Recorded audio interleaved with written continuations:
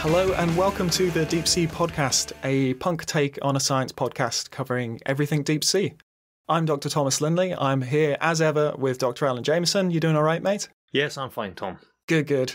And as ever, dear listener, it's good to deep sea you again. Did you abyss us? Oh, Jesus. I'm going to start stacking them. I'm going to start stacking them for as long as they make sense. No, no, I don't think you should. Please stop. Please stop. This bit isn't working. It's getting worse. In this episode, we're going to continue to explore uh, communication of science and where maybe the very dry, impersonal scientific style sometimes lets us down. So, with Alex, we talked about art and sort of the emotional response. And Don also mentioned in his interview the importance of storytelling and that actually it's a it's a skill for public engagement and it's a skill that a lot of scientists do possess. Uh, but it's a bit of a double edged sword. It's uh, difficult to wield, I suppose is the right term. But before we get going with our interview, uh, has anything caught your eye this month, Alan, news wise? What's going on out there? There's been a few things. What do you know about biologically inspired geometry, Tom? Biologically inspired geometry. There's, um, there's some good sort of engineering style stuff uh, inspired Yeah. by biology. What have you spotted? Sponges, glass sponges. So, people at Harvard University have found a sponge that has this intricate skeletal structure which is like super strong and outperforming comparable structures that humans have been using for bridges and such for a long time. It's this weird tube like skeleton they have that forms a like a square grid, diagonal reinforced, and uh, they did a whole bunch of structural testing on it and found out it's actually really, really good. Hmm. So they're going to use it for things like building great strength to weight ratio structures for likes of bridges and that. And it's all inspired by a deep sea sponge. That's very cool. And of course, it's going to try and minimize any wasted resources. So that sponge has got a brilliant like resource to strength ratio. Yeah, it's got millions of years of evolution to refine it, right? On every episode, if we pick up a biologically inspired thing, we can build something at the end of the year. We've already got a super black. Now we've got some really lightweight structure. So we've, we've got a black structure now to work with. Right, a super strong, completely dark structure. Okay, interesting. Yeah, I'll find something for next week. Speaking of sponges, though, Tom, have you ever sniffed a deep sea sponge? I have. What is that smell? It's gross, isn't it? It's one of the worst smells I think I've ever smelled in my life. Is it because the material is so old? They're they're filtering out some very old. I've no idea. It was one of those. It's one of those smells that once you smell it, it gets. It seems to like get into your head, and you can smell it for the rest of the day. It's. But I guess it's not supposed to be detectable by an air-breathing mammal, right? So We were never meant to sniff it, so who are we to complain? it probably works really effectively underwater. I, I think it's the age of the material, but it doesn't even it doesn't even smell entirely of decomposition. It's quite a ammonia smell. It's quite chemical almost. yeah, it doesn't feel very natural, does it? I remember we pulled up loads on Scotia, and the guy started cutting them open. It was like, oh my lord, what is that? That's amazing. Really impressive. Anyway, in terms of technology, there's another article out recently. Have you heard about the robot squid? No, other than my bad B movies. Oh, this is not a movie. This is a real one. Finally, This is people at yeah, University of California in San Diego. Yeah, they made a squid-like robot.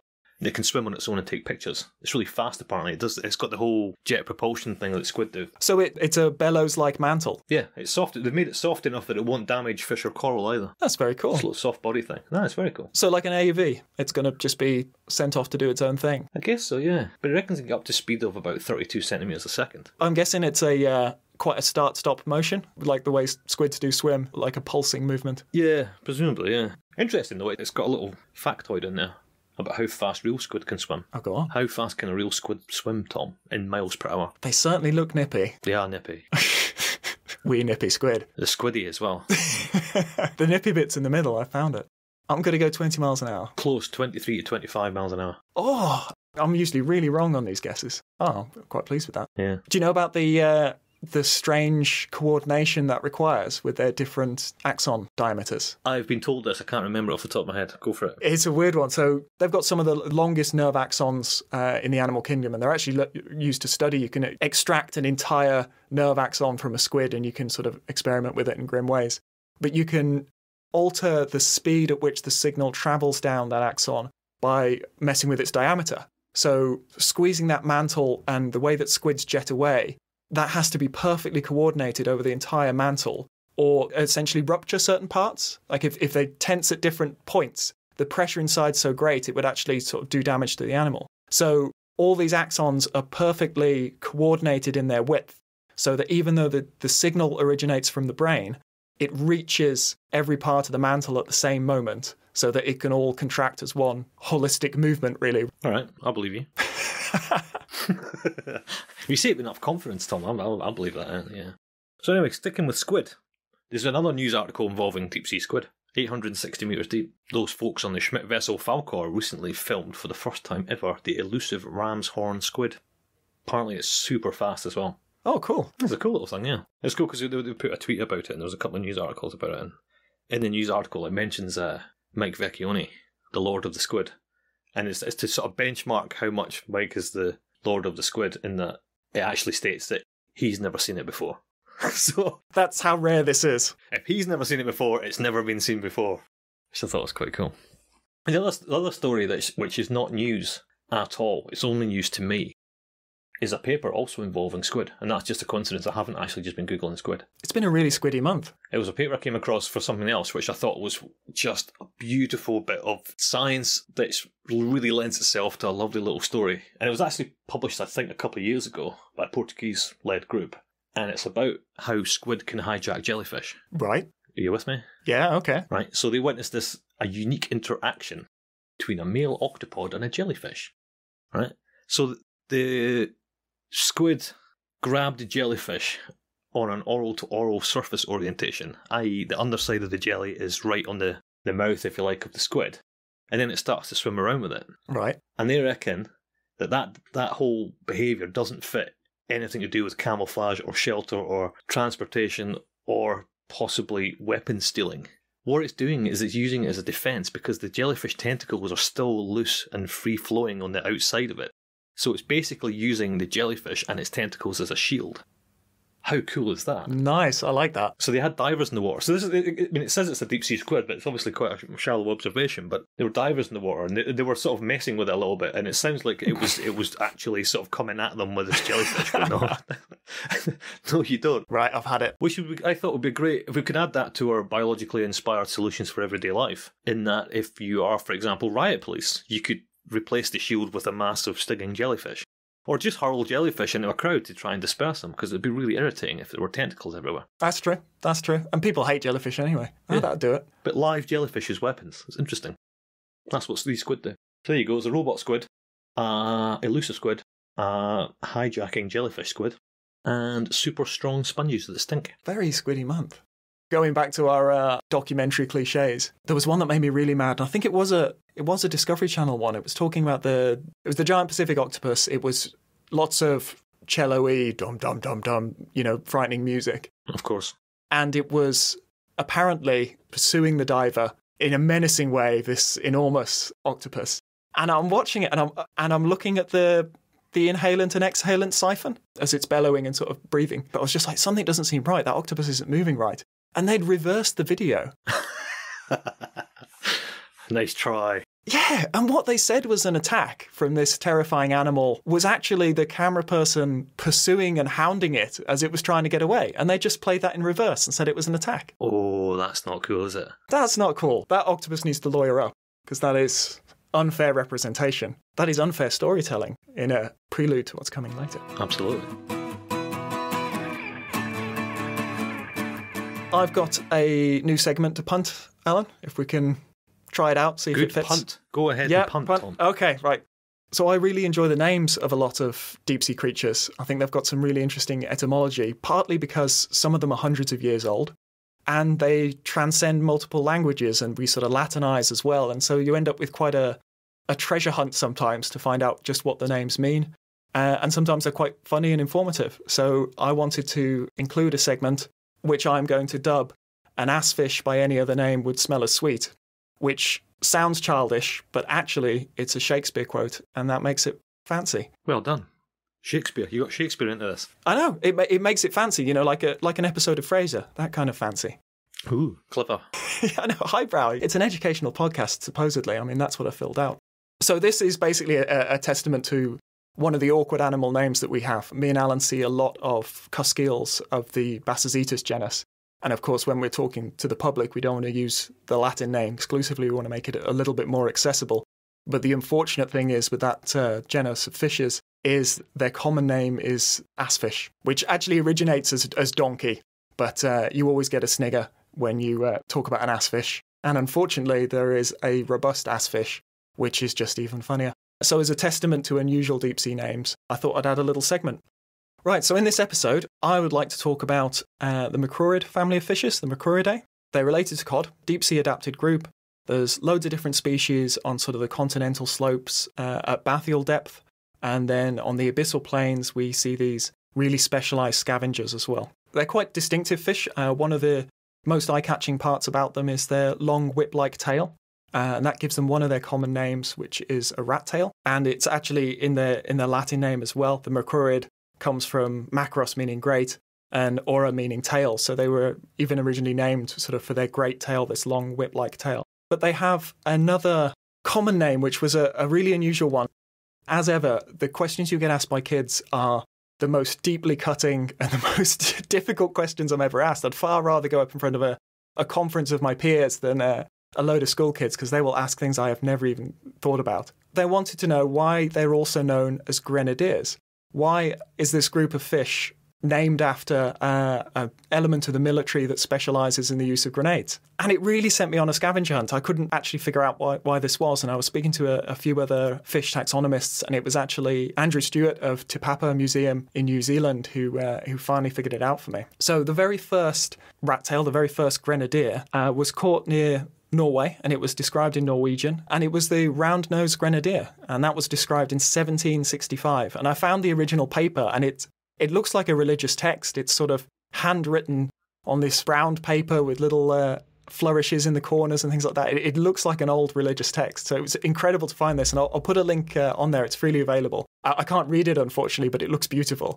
And so that was in 1765, and it was Johan Ernst Gunnerus, who was a uh, Norwegian taxonomist who named a fair few things. In the sort of mid 1700s, the grenadiers of that time would wear either a tall furred cap, uh, similar to the guards around Buckingham Palace, the big furry ones, or they would wear something uh, based off the bishop's mitre.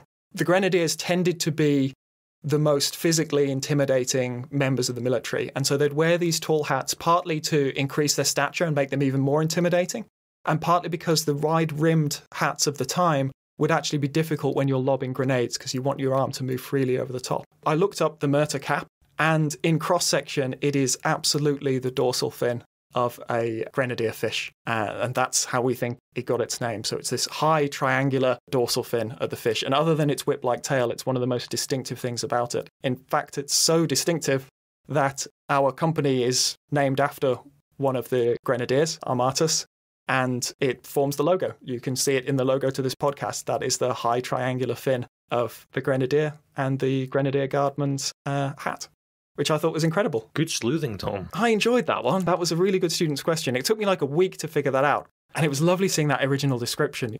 A name from the mid 1700s. Thinking about storytelling. I've been thinking about storytelling.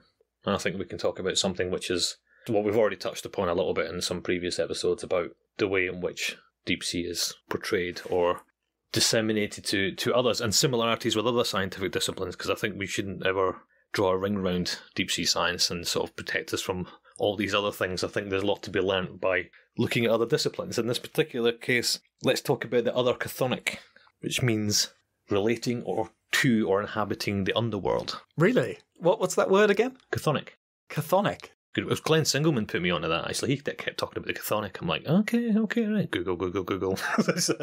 no, but screw it, right? So if you think about geosciences, the subterranean geosciences, they had similar issues, right? So deep sea is not the only scientific discipline that's had to deal with difficult and changing public perceptions and how the storytelling has to evolve with that. So the subterranean geosciences had to also accommodate cultural and metaphorical perspectives of, of the public, I guess right? So if you think about how you go back a hundred years or so, you have the whole sea monsters. You have this idea that things find neutral buoyancy midwater, and there's this, this whole spooky thing that no one really understands. It was the same when you go underground as, as when you go under the sea, right? So the subterranean had this sort of similar primordial sense of darkness combined with opportunities for commercial enterprise, which is what people, you know, mining essentially, like tin mining in Cornwall and that kind of stuff. People started to go to go underground. So then you had this weird transition between the weird and the we can make a lot of money out of this. Interesting push and pull there. Yeah, I, I, it was described as being an era of dystopian dread and utopian dreams. Oh, I like that. I know. That's my album title. so it's kind of like the archetypal monsters dwelling in the deep, right? You've got these pre-industrial geological endeavors, such as mining, I suppose, and they had to appease the supernatural when they first started going underground. And you had goblins and dwarfs, and they were known as Tommy knockers, or knockers or knackers. And then there was the Bucka, the Bogles, the Spriggans, and what's called the Pick and Gad men. So there were all sorts of these strange ghosts and spirits that you had to appease at the peril of both the miners and mineral production. So if, if you wanted to, if the miners were to operate safely, you had to keep the deities happy, and if you wanted to actually make a lot of money, you also had to keep them happy. Strangely maritime. Yeah. I feel like old dangerous jobs sort of breed superstition, and you need anything to make you think, "Oh, I'm I'm going to come home from this." You know, I've I've done I've done the ritual, and now I'm going to be okay. Just because you're living such a dangerous life. Yeah, even that line, the geosciences world, as that moved into the industrial era, that sort of sublime dread of displeasing the spiritual deities kind of evolved into a, I guess, a reverence in the face of significant resource potential, because suddenly you're just making a lot of money by pulling a lot of stuff out of the ground, right? So that fear kind of, that fear of the chthonic realm suddenly had more monetary value than it did sort of spiritual.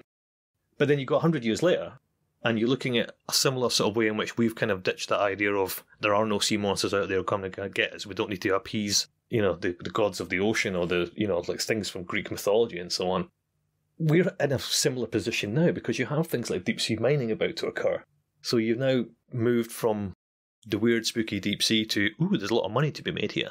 Right? So we're, we're, we're following in the footsteps of what the geosciences have already had to deal with. Right? And we'll talk about deep sea mining in another episode. It's now's not the time to get into that because it's quite a quite a big issue. But It's at least one episode. There's a lot to talk about. yeah, but it's, the, the point I'm making is we're kind of following in the footsteps of this. So, while the reimagining of the subterranean environment has led to a sort of cultural disparity, because people are feeling really anxious because they don't like the idea that scientists or industry are tampering with the nature between their feet, right? You're messing with stuff that is supposed to be solid and stable, right? So they, if you think about things like fracking and carbon capture storage, geothermal exploitation, or burial of nuclear waste, or whatever it is, people are quite rightly concerned, right? They're really, really into this. And this is where storytelling becomes quite a big deal because in the deep sea, you have this almost subconscious fear led apathy towards the deep sea, whereas in the subterranean, you have this very conscious fear that leads to anxiety and almost distrust, right? Because what the geosciences are is there's lots of papers written on this, and there's no equivalent papers written in marine science as far as I can tell. There's a few sort of shallow water ones, but certainly not deep sea ones.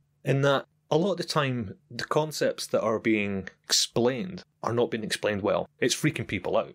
The issue with storytelling there is that there's a sort of want for how to reshape those stories, how to take something that is unbelievably complicated and try and tell that story in a way that can be easily digestible and to appease any concerns that people have or, or try and make people feel better about it. I mean, there was I read a paper and there was and there was a survey about what people felt was going on in the geosciences, and they, there's a general consensus that they thought carbon capture storage meant there was giant high pressure bubbles forming underground that could explode at any minute. Of course, that's not the case, but that's how it comes across if you don't tell the story properly.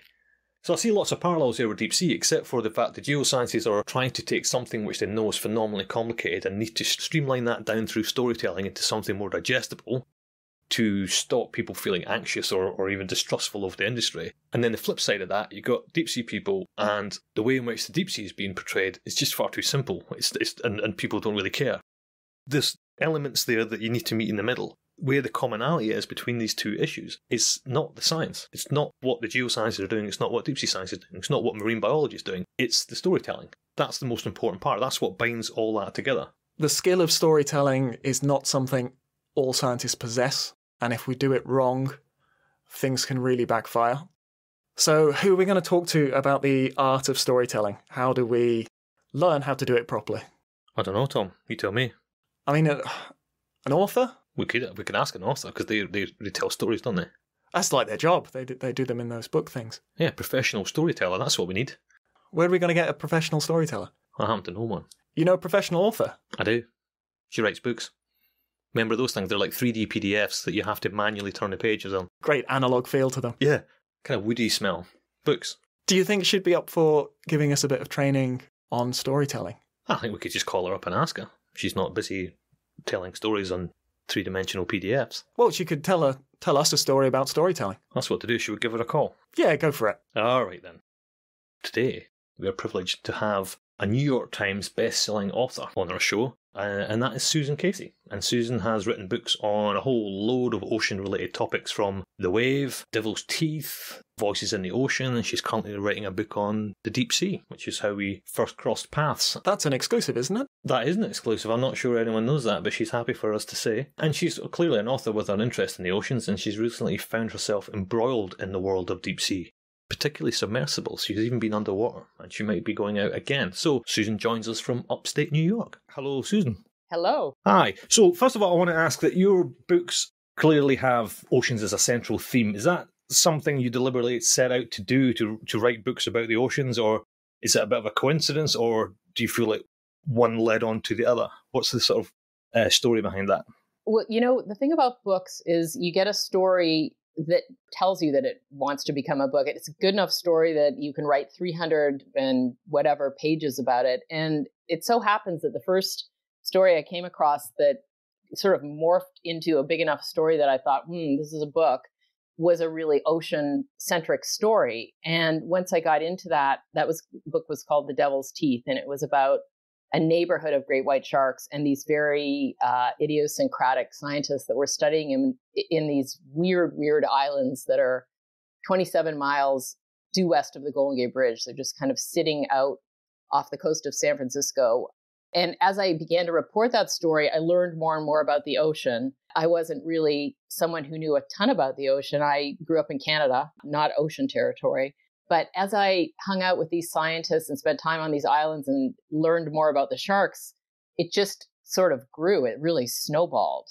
I mean, to me, it was just endlessly fascinating. And that's kind of job one when you're writing a book is to find something that you are so fascinated and so passionate about that the reader will feel that and hopefully come along for that ride. So that's how it started. It's funny because those islands are really ominous looking, aren't they? Just the, the topography of them looks quite frightening, and then you put you add the sharks into the mix as well, and it's it's it's mad that that's all just sat off California.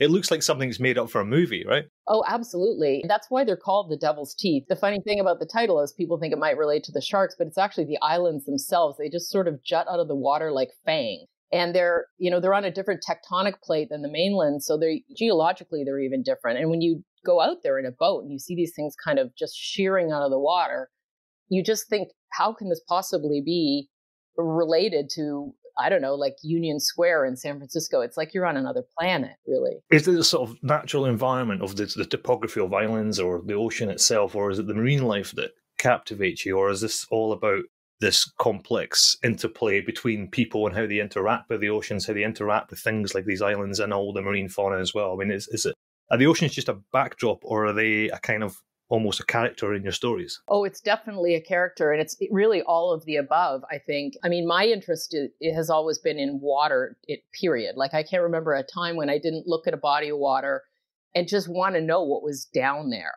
And that's really always the question I'm sort of interested in answering: is what's down there, and and what does it look like, and what does it feel like, and and really how does it interact with us in our lives? So Devil's Teeth really dealt with a lot of biology, marine biology, but also there were just a ton of seabirds out there.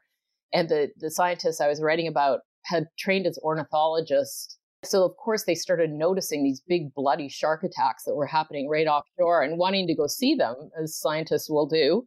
I spent a lot of time also around something like 300,000 nesting seabirds on this 65 acre island. But then the next book I worked on, uh, which was about giant rogue waves and these band of guys that are trying to all vie to surf a 100 foot wave, was really about the physical oceanography and wave science and things like that. And then in Voices in the Ocean, my third book, I wrote about cetaceans and about the human relationship with cetaceans. So there is back to biology. And now in the book about the deep ocean, I think it's all of them. The biology of the deep ocean, which is you guys know better than anyone, is really weird and fascinating. And then there's everything else.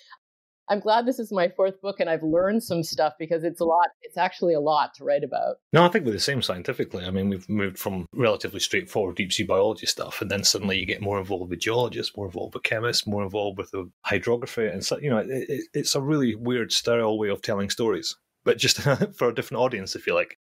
Being curious about water and, and and wondering what's down there. I mean, you recently did a sub dive, right? You've been down off was it the Bahamas or something in a Mhm. the Triton submarine? Can you tell us about that? Oh, I went down um, uh, on with Tim McDonald, who was training to be a sub pilot, and it was just sublime. It was the most sublime experience. And I had been a scuba diver and a free diver, but of course, that's you know nothing. And it's hard to put it into words. I'm trying to figure out how to do that. Was it what you expected? It was even more spectacular than what I expected. I wasn't scared for one second. I mean, even though there's something inherently risky about it, it's well thought out. The machines are amazing. But it sort of proved this theory that I have that you can't be scared when you're fully in the present moment. And fear is really something that comes up afterwards when you think, oh my God, what did I just do? Or that could have turned out badly. But when you're in the present moment, it, it really is just awe. And um, the thing that maybe I noticed the most was the fact that it's not space, it's got volume, it's got mass. Everywhere you look, there's life. So it's this three dimensional environment that's really just teeming with life. It's not like looking up in the air. You could feel the fact that it was it was a presence, you know, the all the weight of the water and everything that was alive in it and all the specks that come down that sort of look like they might just be detritus or marine snow. I mean, some of them are just detritus, but a lot of them are alive. And some of the fishes that you see that are held up to be like, oh, look at the monstrous teeth on this one. They're like the size of a quarter, Yeah. you know? And so you see them in person and you think, oh my God, these are the cutest little things. And and all the the light show. I, I mean, I had read William Beebe's book, of course, the guy was brave enough to seal himself up into a steel ball and drop into the twilight zone on a cable. He was, I guess, would you agree, the first one to sort of see bioluminescence? Yeah. yeah, certainly those depths, yeah. you know, and how he had written about those lights and almost like a poet. He had really had a lot to say about the color blue and the way the light worked in the water and the, the way the animals used bioluminescence. And, you know, it sort of must have felt to him like being on a real acid trip. And that's a little the way it felt to me as well. It's funny because it is really immersive. I don't think from watching it on TV or or even video you get that feeling of the three dimensionalness of the whole thing. You're not being asked to look at this particular object or this target. It is all of it. It is all of it. All your senses are trying to soak up all of the stuff that's going on, not a narrator on TV saying, "Look at this animal," and there's other stuff going on in the background. Because I've been trying to think about what what the difference is, and it's things like that. It's stuff that doesn't translate well in, in digital media. Yeah, you can't feel it's the feeling of it. And that's why one of the things I really want to capture about this experience is how important it, is, I think, for people to continue to go down into the environment. Like robots are great. And I did some reporting with Jason, the burly ROV that does a lot of work in the deep. And it was funny because sitting on the ship was Alvin, which is the US Navy and Woods Holes manned submersible that a lot of scientists use in the US. And all the pilots that were flying Jason, you could tell they were sort of a little depressed that they didn't get to get into Alvin. And I think all the tools are really important, but there's just something about the human imagination and the actual experience of going into that environment that teaches you something about it that really goes beyond, I think, the intellect and more into the realm of emotional or, you know, I would go so far as to say spiritual.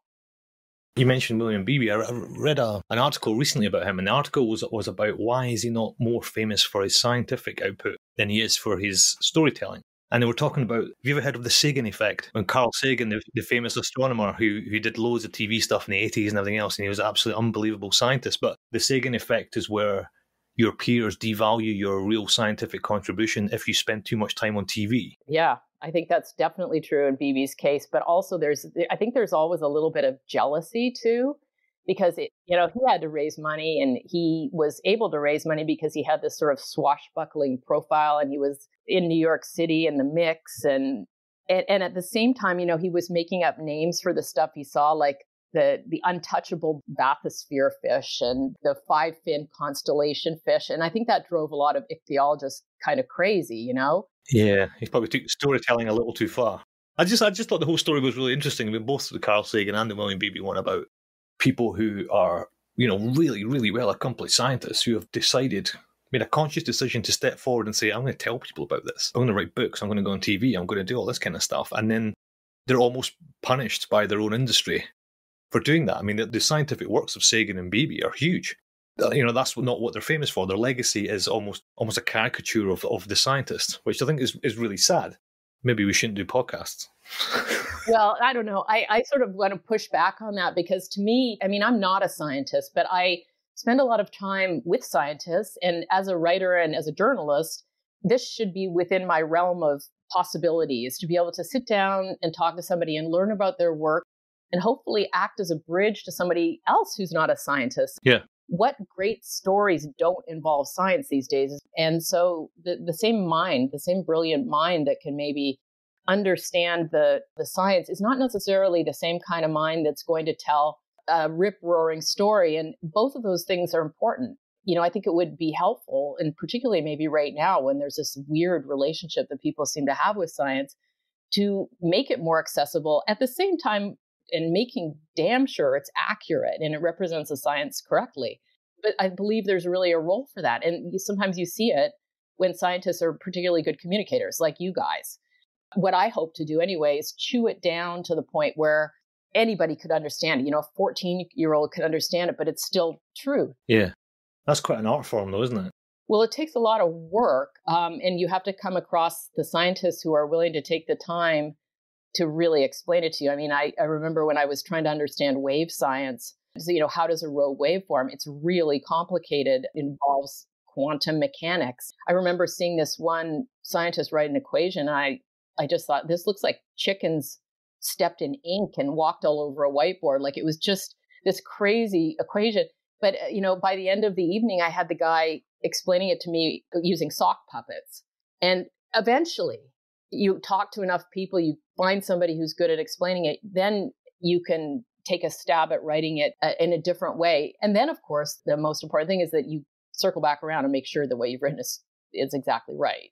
I remember once being um, told off by one of my bosses a long time ago. I used the phrase dumbing it down, and I'll never forget it. He turned to me and said, Never use the phrase dumbing it down. It's about pitching to the right audience. It's two very different things. You're not dumbing it down, you're just pitching it better. And yes, what's wrong with being super clear?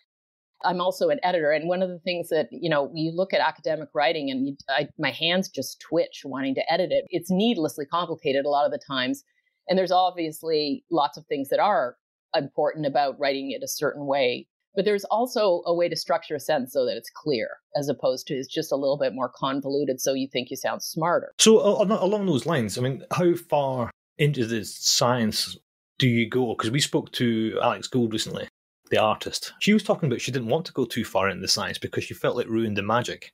It almost took away any of the mystique or any of the the first sort of instinctual responses to it. So she was very much like, tell me a little bit, but not everything. Do you want to know everything and then you then get to remold it into a story, or are you happy if you just get a little bit here and there? You know, I think I can't possibly get everything, but I want to get as much as I can. So there's always a place where I have to stop.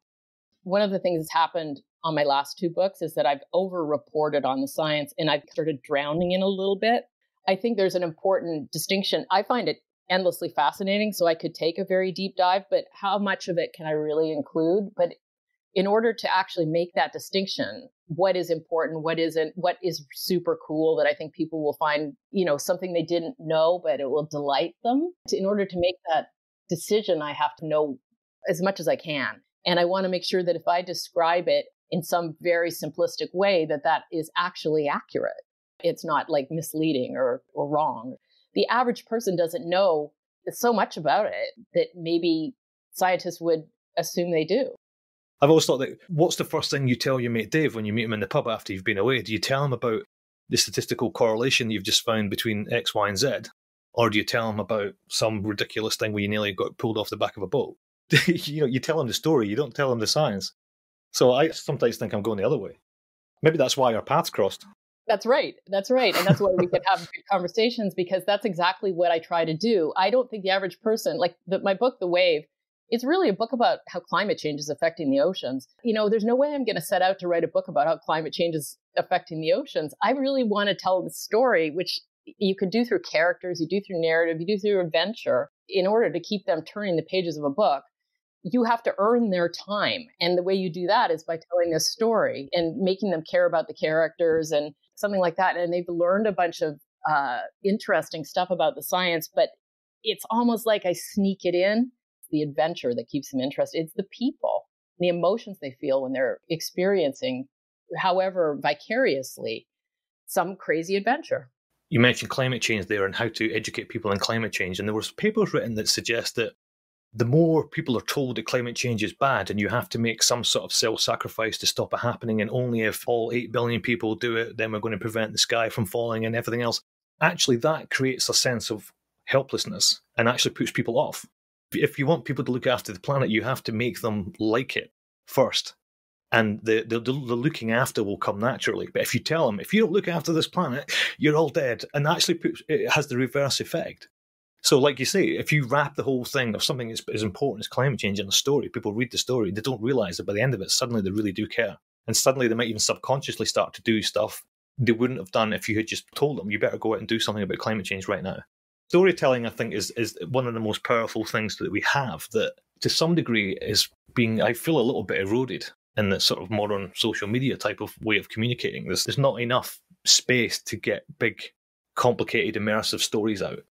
I don't know if you agree with that or not. Oh, I, I, certainly do. I mean, I think it's one. Of, nobody wants to be told what to think or what to do. You know, there's this instinctive. You're not going to tell me what to think or what to do, and then that's one of the things that I think activism, as as much as it can be really inspiring, is also like somebody sort of really barking at you that you're supposed to do something differently, and everything else that you might think is irrelevant. You just have to do this and you have to think this. Nobody wants homework either. For better or for worse, we, are living in a period of sort of short attention span theater. But at the same time, it's not that people won't pay attention for that long. It's just that the bar has gotten super high to get them to do it. But yet, if you manage to do it, they're in and they're not coming out till the end. Social media isn't built for that. It's built for this quick little snapshot. And and TV is different and movies are different. All these are different tools for storytelling. And I think one of the things that you and I have talked about that gets frustrating is that they can't go quite deep enough. So ironically, when they're doing a show about the deep ocean, it's pretty shallow. And so, what is the best way to do that? And maybe it's a combination of a lot of things. So, there's one major story that can be told eight different ways. There's a, a deep, deep dive in print somehow. There's a bunch of call outs from the print that come up on social media. There, there maybe there's a an accompanying documentary. I don't think it's there's no one magic bullet here. If there is any through line that's really important, I think it's the voice um, and the characters. You know, people are interested in people. You take out people, and all of a sudden, people are way less interested. This brings us back to that question that you're so fascinated by, and I'm so fascinated by. Why don't people care about the deep ocean? Because they can't project themselves into that environment so easily right? Yeah, it doesn't feel like there's anything in it for them. Yeah, it's just over there. I don't get to see it. I can't go there. Okay, this is the largest habitat on Earth. This really runs the show. Something goes wrong down there. If the chemistry changes in some dire way, like believe me, it will affect you. But how do you get that across to people, you know, and how do you do it in such a way that it's just not like this spooky house of horrors or threat or a cautionary tale, basically? I think that this this line there is actually a line drawn in the sand, and that line is the 200 meter mark, the 200 meter contour, where it's the sea, and then you draw this line at 200 meters. Go, everything else is deep sea. So it's like this is the bit that you like, this is the bit you can swim in, this is the bit that you get food from, and you can go on cruises and dive and jet ski on and all rest of. Everything below this line I've drawn is weird, and it's it's not for you. It's somewhere else. It's it's dark. It's dangerous. It's weird. And I think that's that's the issue. You're actually told this is a different place now, and then then complain and say, "Why don't people care about the deep bit?" Because you made it weird. We've talked about this before as well. It's like there there are sort of um, narrative cliches almost. Like, yeah. isn't this scary? Everybody thinks it's scary. Well, wait a minute. I happen to think it's kind of magical. There's a there's a story that gets told over and over and over again. There are words that come up over and over again. Well, what would happen if you tried to tell that story with a different vocabulary? that starts to become really interesting to me. I mean, certainly when when I got a glimpse of it, as I was coming back up, the thing that I felt more than anything was grief.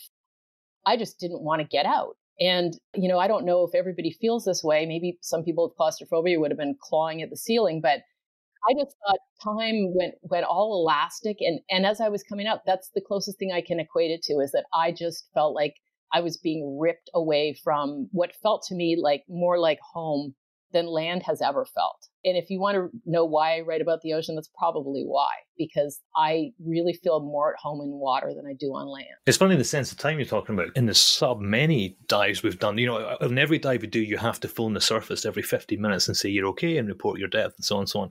I think probably almost every dive we've lost track of of whether or not we call back or not. Yeah. Because 50 minutes just goes in a flash. You're like, did we just do that call or not? It's like, and we look at the clock and it's quarter past hour, and you go, oh, we should call in. It's like, didn't we just do that? Yeah. And it's just because you're looking out the window and you're like, there's this, there's this, there's this, there's this. You know, and I think you're just sensory overload, kind of really immersed in it that you you've no idea. There has been times where I think we've come back and we hit every 15 minute call. But if you'd asked me, I would have said we've missed a lot. but you're just sort of into it. So moving on, you're writing a book about deep sea right now. Was there a particular point, a particular event or conversation or something that took you from your last project to that almost, uh, did you have an epiphany moment went, right, deep sea, that's where it's at. I'm going to do that. And if so, what was it? And going back to the devil's teeth again, it was the water out there at the Farallon Islands was this unbelievable, I like to call this inscrutable water. Like it's not this clear stuff that you can see through to the bottom. It's black. And so we'd be sitting in this little research boat and these 18 foot great white sharks would suddenly emerge out of the water. And it, it also is this place where all these currents sort of collide, and these islands are the edge of a tectonic plate. So they plunge something like two miles down to the abyssal plain right there. So there's all this upwelling. You know, one day I saw 40 blue whales breaching. I was can't believe what's there. We saw everything. We saw mako sharks. And I remember thinking, this is so cool. Like, you never know what's going to pop up from below. And what is it like down there? What is it like in the part I can't see? That was when I started thinking about this idea of a parallel universe. So there's what we can see, and then there's this whole other world down there. So I was hoping and kind of assuming that the next book I would write would be really about the question, what's down there?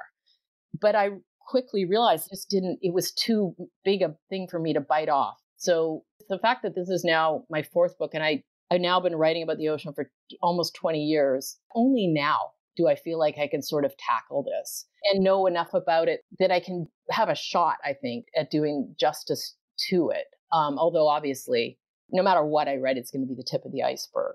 Well, that's it. I mean, as I say before, the deep sea is so huge that most of the sea is deep sea. Yeah. I think it's 97% of the sea is, is classed as deep sea. So I've always been quite frustrated with books and articles and in episodes of documentary series where they bundle it all up into one thing. And suddenly you get this whistle stop tour of maybe 20 things, which is supposed to be representative of, of the entire 97% of the ocean. There's, there's enough material in the deep sea to do hundreds of articles or you know almost hundreds of documentaries on because there are so many species and, and such a variety of habitat and depth and seasonality stuff and everything else. It's just such a huge thing that it always gets this weird pigeonhole that you're never going to learn a lot about it because it's you're trying to cram so much into a short space that yeah, I find it really frustrating.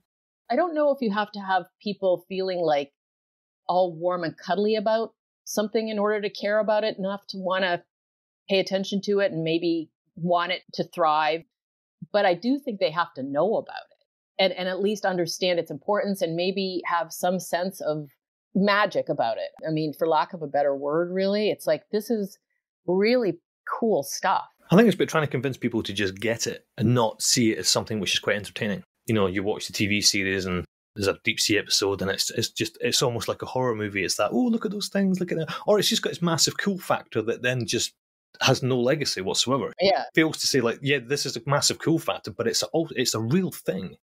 It's not an entertainment subject. It's going to take a lot for normal people, normal people as a scientist are not normal, but uh, yeah, for normal people to go, actually, actually, you know, the deep sea is kind of important. It's a thing that I, I want to know more about. Well, don't you think it's ironic because uh, shark scientists really love to hate Shark Week um, because you know it's very spectacular. It's like this sort of shark exploitation. The irony is that if you start to get into the latest shark science, it's so much more interesting than any sort of just shark exploitation. I mean, there's there's actually real dimension to it, and if you take the time, I think it's harder though because you actually have to learn something, which is not something that every TV producer wants to take the time to do. You can create a narrative that has a lot more richness to it. So to me, once you take the underpinning of the real knowledge that we're gleaning about this stuff, you take it out and you just sort of show a picture of this thing thrashing away at something, you, you're actually missing the whole story. You look at absolutely anything in nature,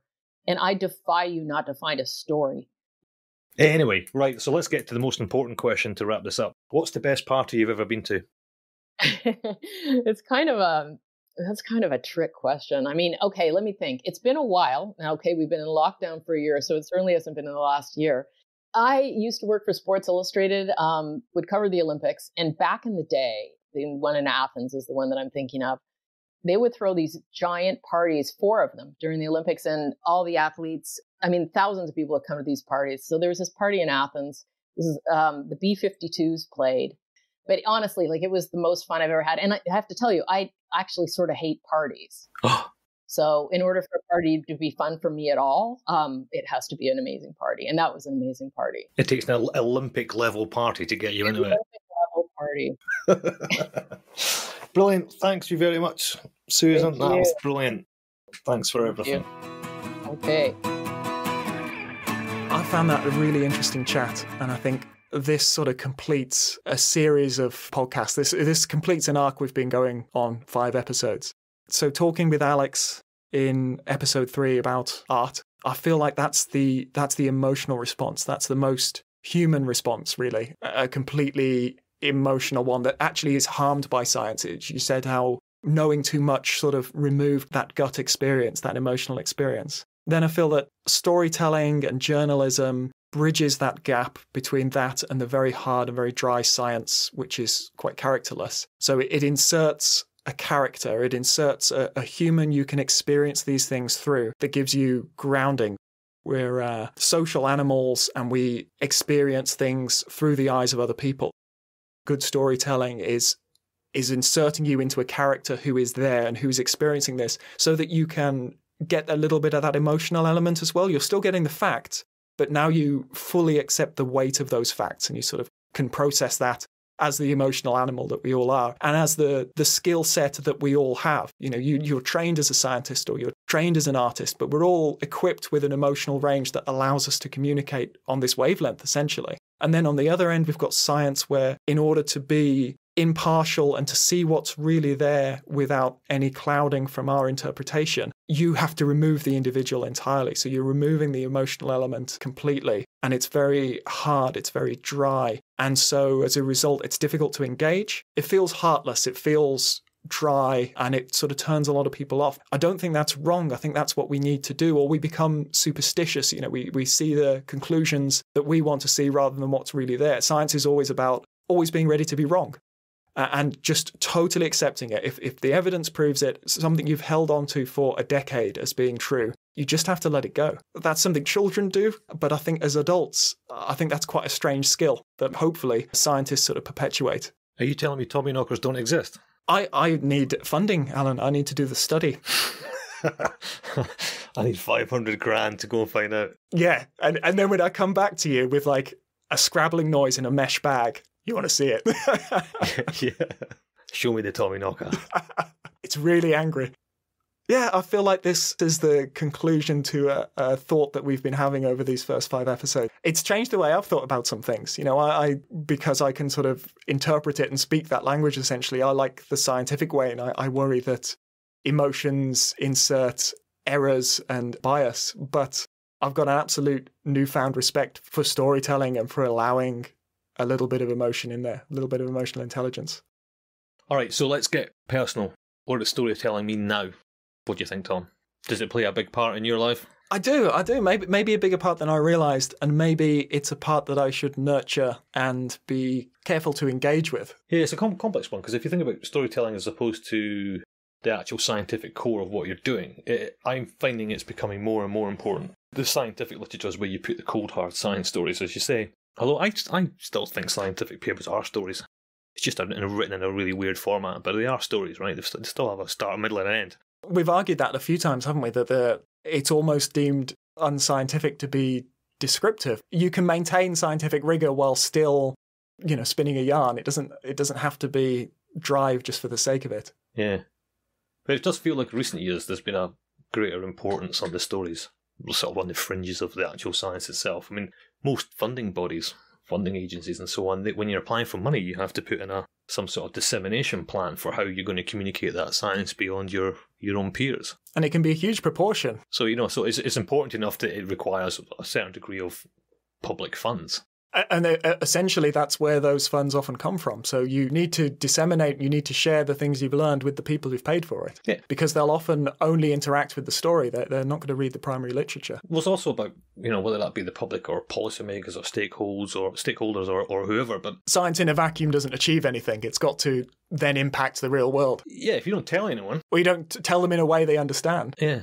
So I think it also also plays a role in establishing whether or not the science is considered valuable or worth funding more of, or was worth the money that was spent on it and stuff like that. So it does become super important, but it's it's, it's so complicated. I've, I've I've only because I've sat down and really tried to think about it in a different way, and that's kind of half why we do these podcasts because it makes you think about stuff you wouldn't normally think about. And I think storytelling has been one of the high points I think of of my career. Maybe not now. Now it's become probably a low point. But you know, I think back to 2008 when myself and my colleague Toyo at the time we filmed the deepest fish in the world, and we had no idea what we were doing. You know, I mean, we we did it. We thought, wow, this is amazing. This is like 20 odd fish or something at close to 8,000 meters, whatever it was, off Japan. You know, after a few beers in Tokyo, we were on the, like the gazillionth floor of a skyscraper trying to FTP this video to Rebecca Morelle at the BBC so she could stick it on the website. And we just thought it was funny. And we said, oh, yeah, yeah we've, we've, we've filmed Deepest Fish and everything else. And it went just nuts. I mean, it was the, it, it was a career changing moment. And it was just a nice, simple nugget of a story that said, oh, there, there there are actually loads of fish really deep. And they're kind of weird and cute. I can't emphasize how much that that was like a real turning point for me, and it was just it was just about the story we told. There was no science in it. At that point, we barely even knew what they were. But generally, people got really fascinated by that, and and all the all the feedback we got was really positive, and and I think we hit something like three million hits on YouTube, which for 2008 was pretty big considering it was only a 30 second video. And I thought that was great. But then, so you know, I think shortly after that, we put out another couple because we thought, oh, there's some some merit in doing this, and you know, we just figured it was you know non-political, non-controversial, kind of interesting visuals that people would like, and we put it out. And then some point around, I think it was 2011, we we did this thing where we kind of rediscovered these supergiants that a weird cryptic thing that were considered very very rare, and suddenly we accidentally picked up a whole bunch of them, and we're like, ooh, you know, so we put that out. And in both cases, they'd not been seen for like 50 years. Yeah, exactly. Yeah, so we- we thought we thought the, the supergiant story was on a par with the deepest fish one, and, and to some degree it was. It went huge as well. We started getting into storytelling there because I know that the media people we worked with kept saying, "Don't use the word amphipod. Use the word shrimp." I'm saying it's it's not a shrimp. We can tell the story, and then perhaps by telling the story, if people don't know what an amphipod is, they they would after having read the story. But if you call them a shrimp, you're telling them it's something that it isn't, which then nobody learns anything. Yeah, and they'll be forever wrong. Yeah, so you know, we, we we thought we got that one right. A lot of the responses were really super positive, right? There was lots of it was it was great. But then after a while, we started getting a lot of complaints from public, and I, say public, just non-scientists were, were were writing to me personally. Some of them were horrendous, some of them were quite violent, and some of them were quite well thought out. They were just huge, big, long rants about how we were horrible people. You know, I remember thinking at times like, how how are you getting this from that? What did we do wrong to go from the deepest fish, unbelievably positive story to the supergiant, which went positive and then suddenly took this weird turn? And it's weird when the fish is the vertebrate. The fish is the, the thing with eyes and a cute face, and it is an animal we empathize with a little bit more. Whereas the supergiant, it's a, a large bug essentially to most people. In fact, I know what it was because I, I did engage with a couple of people. I do have a habit of when people say horrible things, you just you, you email them and say hi. I'm probably not that horrible if you just give us a chance. But the difference became clear, and it was that the fish were filmed alive on the bottom. The amphipod was photographed in someone's hands. A beautiful pair of Scottish hands, I might add. It seems to be, I mean, we've, we've tested this out on other press releases just out of curiosity. And uh, if you take a picture of a specimen on the bench with nice lighting under a microscope or with a nice SLR or something like that and put that out, everybody goes, Ooh, look at that, marvelling at these things. If you put those specimens in jars, put them in a museum, people go, Oh, look, there's a specimen in a jar.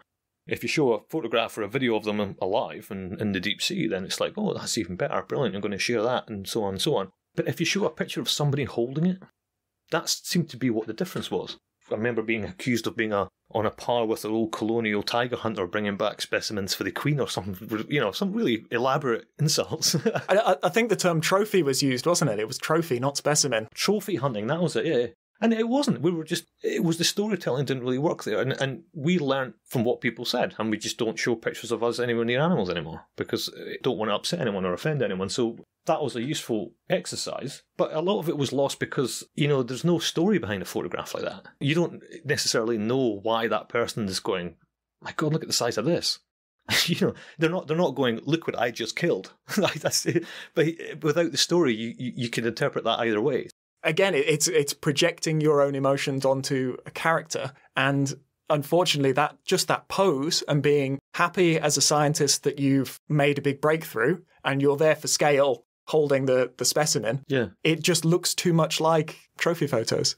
Yeah, so we don't issue photos anymore of us holding dead animals. We just don't do it. We just take nice pictures of them or put them in a museum or put pictures of them alive. And 99% of what we do where we work anyway, we don't catch anything anyway. So it's not like it's going to be any inconvenience to us to, to make sure people read our stuff and are happy with it. So again, that, that was how storytelling had to adapt a little bit to get the most out of it for everybody involved. And then that's changing now. I think I don't recall in recent years having any negative interactions with, with public over anything we're doing. I think what we're doing now, particularly the sort of more exploration and expedition types and some of the media stuff we're doing, seems to sit really well with the public. The trouble now is other scientists, and it's becoming really quite toxic. And again, it's coming back down to storytelling on multiple layers storytelling is really important, but things like Twitter and Facebook are the worst platforms ever for actually telling a decent story, right? So what's happening now is there's snippets of, of bits of information going out, and people just fill in the blanks with what they think. And that's led to a whole manner of animosity at the moment. I mean, I was up till two o'clock in the morning last night trying to undo the damage that other scientists have been doing because of not taking the time to find out what the actual story is. And th- that's where it's becoming really weird when people bash us on Twitter or Facebook, whatever it is, I, I don't care what they actually say because they're misinformed. But I always email them. I make a point of everyone who says something nasty about myself or colleagues, I email them and say, look, why don't we have a conversation? Here's my phone number, give me a call. And if you still if you still feel like that after a phone call, then fine. You're entitled to your opinion. But at least, as a scientist should, at least be in possession of all the facts before you go doing that. And nine times out of ten, I get an email back almost immediately saying, no, I'm not willing to talk to you face to face. And that's that's the culture we now work in which I think is really, really sad. Where do you go from that? Because again, what's causing the issue there is not the science, it's not the, the materials or methods, it's not the conclusions, it's not the funding, it's not the It's not peer review. It's not peer review. It's it's the storytelling on the fringes of all which is, are driving these huge fracture zones between the elements. Like the, the pun there with fracture zones. I know, it's good, very topical. It's, it's that which is which is causing a a rift, if you like, in parts of the community. So, are you allowed to talk about the fact you weren't allowed to talk about it? That was the origin of a lot of the issues. I mean, these issues go back well beyond before Five Deeps, to be fair. But Five Deeps is a good example of that. Is, is that we weren't allowed to talk about it. We just weren't allowed to. There was legal reasons why we still can't really talk about it, so we don't. Unfortunately, our crime, if you like, in all this is not telling the story, so that other people can just make up their version of what we did but no one actually knows what we did because no one has ever told anybody what we actually did. The only information that goes out are a few tweets here and there, and some journalists come on and write a third party sort of story with some sort of spin on it, which sometimes works, sometimes really don't, and that's then been taken as science fact, which is weird that scientists are taking journalists' opinion first and ignoring the fact that there is an opportunity to find out the truth, but then refusing to then engage with that. And that's what's really frustrating with me. It's not what people say, it's the, it's the fact that it's happening at all. I just think it's really disheartening. But it is what it is. So, you know, we, we perhaps didn't tell the best story, and therefore people would just make up their own story. And then we end up in this sort of stalemate where I'm at the point now I'm just not going to engage anymore. And that that's that's kind of the saddest bit. You know, I'm, I'm certainly not going to stand up in a, at a conference uh, and talk about five deeps in front of a bunch of deep sea scientists. It's, it's to the point where that's not happening anymore. And it's sad that it's not the science that's driven that, it's the storytelling. I, I, I don't know how to make this right in the way we did when the public were having a go because I think they had a legitimacy into what they were uh, annoyed about. And we can make very easy steps to rectify that. Well, there was a back and forth. Yeah, if there's no communication, then you can't rectify it. So it just is what it is. Talking to the people who, who felt that way, and then like, oh, it does look like that. Oh, sorry, no, like this is our yeah. this is our job. We do this every day. We don't see how that looks like that, and and we get yeah. it. You know, it still has to be in your hand. The fact that it's acceptable when that specimen is in a jar, somebody's hand put it in a jar. It just depends at which phase in that process you take a photo. And we're all kind of conditioned somebody takes your photo, you smile. Yeah. I got some media training, and one of the examples they gave was a, a scientist who who dealt in quite a morbid field, brought onto sort of the BBC, and it was it was his big break. It was a big deal that his work was getting sort of shown on the BBC. And so, even though the topic was horribly morbid, he was beaming from ear to ear to ear, Oh, and no. that's a terrible optic. But you know, to him, it was like, oh, this is this is my, my my career. This is my life's work, and people are finally listening, and I'm so happy to be listened to. But optically, that looks awful. So it feels like we're kind of stuck in this loop whereby do you tell a story, do you not tell a story? Because if you tell a story and someone doesn't like it, it's too easy now to to end up embroiled in one of these ridiculous online tit for tats. So it's better just to not talk about it at all. And if you don't talk about it at all, then people will just make it up. What I struggle with is the situation with the public, for example. It's more to do with how the science is presented. It's the reasons for how that thing ended up in your hand. What's happening now from like peer to peer critique is entirely personal. It's not to do with the science, it's not to do with anything else. It's a stab at from one person to another person to try and effectively try to damage a colleague. And that's where it becomes too much. So if you don't challenge it, it's out there and it's doing you little bits of harm. It's like being so punished because you haven't explained yourself well enough. And I, I just find that really hard to deal with.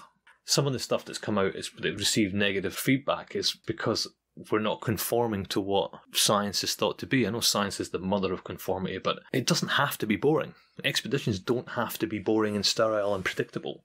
When you write stories about deep sea, they don't have to follow the same predictable succession of stories that are always told. And it seems to be just because few people decide to do something a bit differently, then it's like, oh no, no, but that's not what we do. That's not conform. It's like the moon analogy. Let's go back to episode one. It's like, wait a minute, he hasn't said that we know less about this than the surface of the moon. Therefore, You've got to say that, or it doesn't count. you have to. It's like, wait a minute, you tell me more people have been on the moon than have been to the Challenger Deep.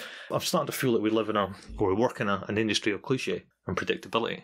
I'm quite glad to not conform to that. Way back in episode one, Don actually spoke a lot about storytelling and he really admired it as an art. He talked about some scientists that were particularly good storytellers at the same time and the, the issues that they faced when doing that, which uh, then we revisited with Susan as part of the, the Sagan effect. So we reached out to Don for a good example of a, a story about storytelling, basically.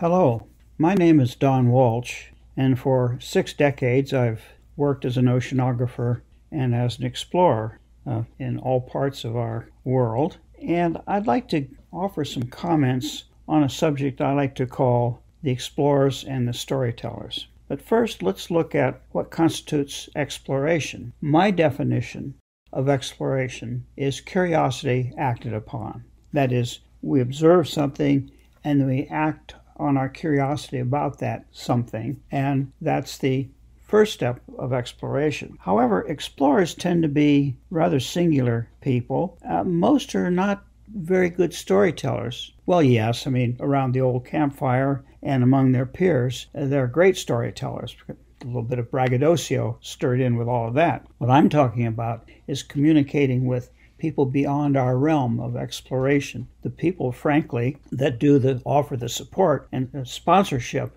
of exploration, whether they're individual uh, uh, persons, uh, foundations, not for profits, charities, or even governmental committees. The thing is, if they don't understand what we do or what we've done and where we did it and why it's important, then sources of support are hard, hard to come by. And it's been my observation that many explorers are either not interested in writing for the unwashed public or do not enjoy sitting at a desk grinding out the results of their expeditions. In the former case, this is where the storytellers can come in and assist an explorer in telling his or her story so that future support might be gained. What's the reason for this? Well, most explorers uh, are solitary and supremely self centered. The best are good or even great leaders, but like a captain of a ship, they have absolutely supreme authority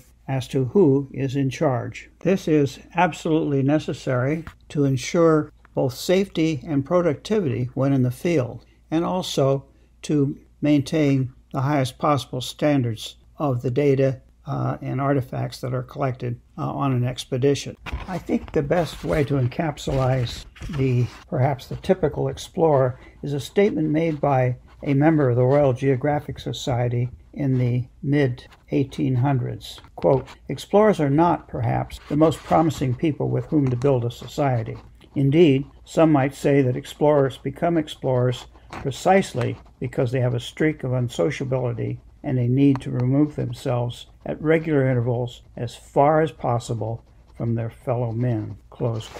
Now let's consider the role that the storytellers play in their work with explorers. The idea of having someone on your expedition to uh, keep a record, a journal, if you will, of your work uh, is as old as exploration itself. And I'm not talking about the keeping of scientific records. That goes without saying. A any scientist in the field is going to keep a record of, of remarks and artifacts collected, but rather who's telling the general story, the human interest story of an expedition. And that's the role of the storyteller. There are lots of examples of uh, storytellers. Um, I'll give you a couple that most, most of us have heard about. One was uh, the, uh, the great uh, travel adventure writer Lowell Thomas. Uh, who probably is most well known for helping uh, bring the legend of Lawrence of Arabia to life, being uh, with Lawrence in the deserts in the Middle East during World War I. He went on to become a filmmaker,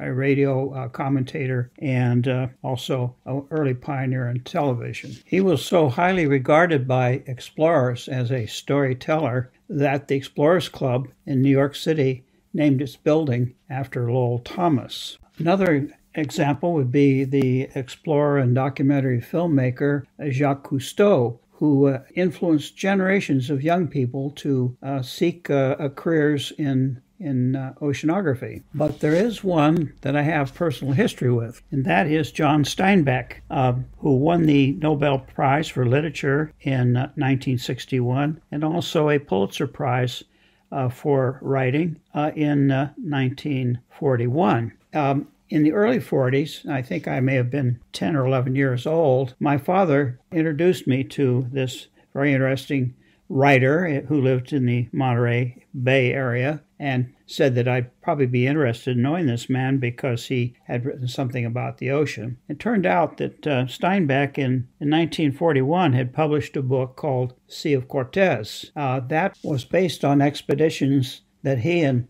Doc Ricketts had been doing in the Sea of Cortez or the Gulf of California since the mid 1930s. Steinbeck was a actual participant in Ricketts' work and worked in his laboratory and also with him in the field. And uh, it was this work that resulted in the writing of this book, which is now a classic of literature about the sea. And I guess John Steinbeck saw something in this small boy and he handed me a copy. Um, I was too young to realize the potential value, uh, personal value of something like that, and so I never asked for him to inscribe it. My loss. Nevertheless, today it has a place of honor in my library. To finish up on a tale from the high seas, I've got a story in mind that I want you to tell, Alan. But I just wanted to give a little bit of context first about the Seamen's Missions. Anyone who works offshore will be aware of this network. It's 150 years old, an international support network for people who work offshore. It's technically a, a Christian religious organization. It's usually run by a chaplain. And so there's a, a place of worship and somebody to talk to. Uh, of course, working offshore can be incredibly stressful. It's hard work, it's remote work, you feel very isolated from your family.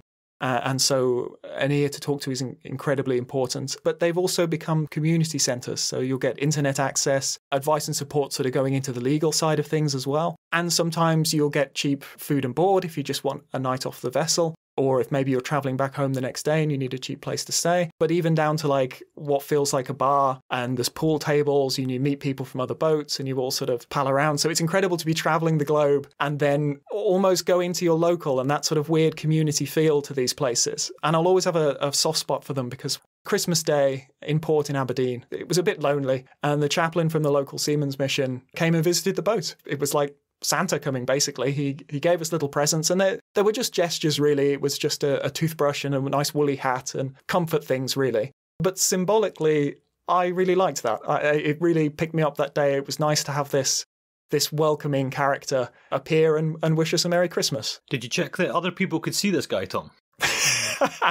this is like the snowman Oh, because was it all a dream? But then I found the scarf. ah, maybe that's it. So I know it was true. Yeah, maybe he came just to visit you and nobody else. I looked in the mirror and I was Bowie. Yeah. He did melt and die at the end. It was really sad. Oh, Uh, but this this leads to a story about storytelling based in a Seamen's mission. This was uh, New Zealand, wasn't it? Yeah, we were on a long expedition to the Kermadec Trench.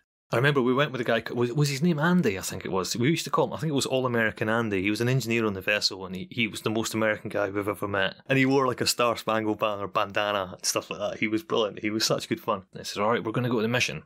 To be honest, I've never been on a mission before. I'm like, well, why, why are we going to the mission? He's like, well, it's a dollar a can. And so, like, what is the mission? He goes, it's a church. It's like, so we're going to go to church because it's a dollar a can of lager. And he's like, yeah. He asked what we were doing, didn't he? I think he, and I guess he was expecting us to say we were fishermen or, or offshore. This is the chaplain, was. wasn't And- it? Yeah, this is the chaplain himself. And he said, What are you doing here? I'm like, Oh, we've got this 11,000 metre ROV and we're trying to explore what lives at the bottom of the trench off the north coast. And he's like, Oh, that's interesting. So then he starts off by giving us some sort of sermon, didn't he? Well, we got the $1 beers in, right? Yeah, got what we came for. So yeah, the church got one dollar beers, and he gives us the sermon. And the whole thing was just getting more and more surreal. And then uh, I can't remember how one thing led to another, but he said to me, "Well, what you're doing is really interesting. Uh, would you write us a, an article for the newsletter?" And I'm like, "Yeah, sure. You know, I'll do one. I'll give me your email address. I'll, I'll write something." He says, "No, no." I want you to write it now. I'm like, what? Suddenly the tone shifts. Yeah, uh, right. So I'm like, okay, you want me to write you an, an article right now? Knock back the dollar beer and get another one in. I'm like, oh, this is going to be weird. He says, oh, you can use my computer. I'm like, oh, okay. So he goes, it's through in the office. I'm like, oh no, I'm being separated now. I'm being separated from the rest of them. been warned and about this. in the office, and he goes, there's a computer now. Just start typing. So I'm sat at his computer, a little bit tipsy, in the office of the chaplain in the Seamen's mission. it's running like Windows 3.1 and a word processing software you've never seen before. Then he, he leaves the office and locks it behind him. So he locks me in the office. I'm like, what's going on here? So I sort of frantically type out a couple of paragraphs as to what we were doing there and what this RV was and blah blah blah blah, and then just had to wait. I just had to wait until he decided that I'd, I must have spent long enough on this article. It was the most surreal thing. The whole the whole time in Auckland got weirder and weirder. That was also the same night we watched a guy from Florence singing Barbie Girl at a Korean karaoke club. You remember that, don't you, Thom? Because we hugged him at the end. It was that beautiful. I was genuinely moved. It was such a new element to his personality. Never in a million years would we have guessed he would have sung Barbie Girl. And he did the actions as well. Yeah, he knew the whole thing. He's quite a reputable scientist now. We, we still remember him as Barbie Girl. anyway, the Seamen's mission was, was wonderful and was very surreal. And they were very nice and welcoming. I'm not sure why they locked the door, though. That was the term. That click, I'll never forget that click. It's when he tells all of us that you've left. Oh no, your mate's gone. You should leave. Or he wants you to write another article and you go into another office and that gets locked as well. He's He's trying to of- separate us, he, divide and conquer. One of them will write something good. If I keep locking these scientists away and getting them to write things, one of them's going to be good. And I almost forgot to check. I don't know if it ever got published or not. I'm sure it wasn't my best work, but it's like, what, under duress? under duress, a little bit tipsy with some really, really cheap canned lager. So that concludes our episode, and thematically, it kind of concludes this arc about science communication and about deep sea perception.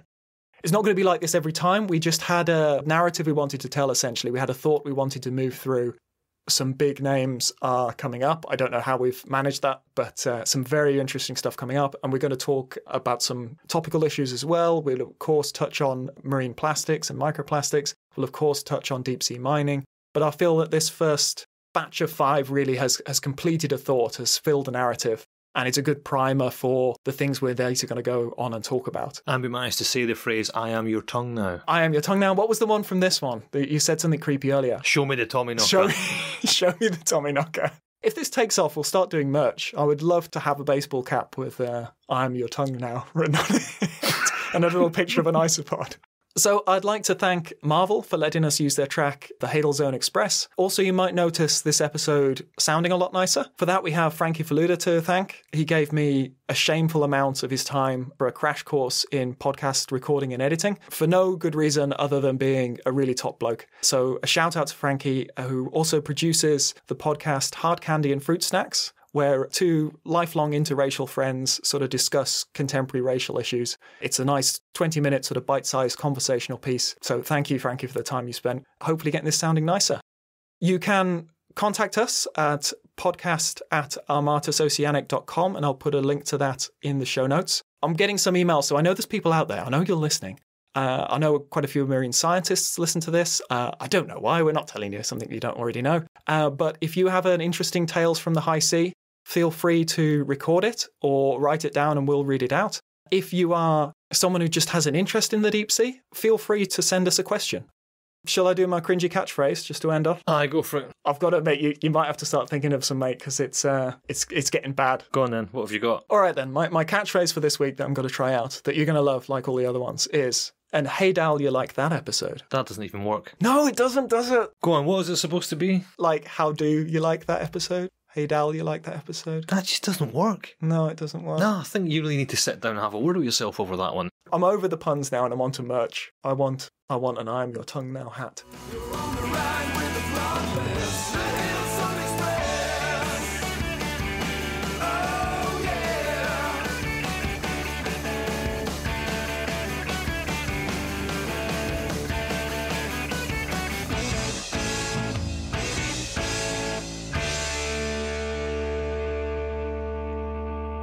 The Deep Sea Podcast is supported by our company Armatus Oceanic.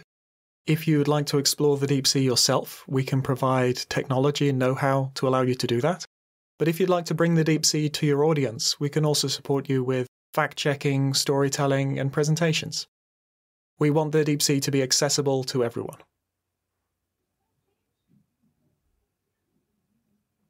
Hello, children, and welcome to a new podcast Biology Stories at Bedtime.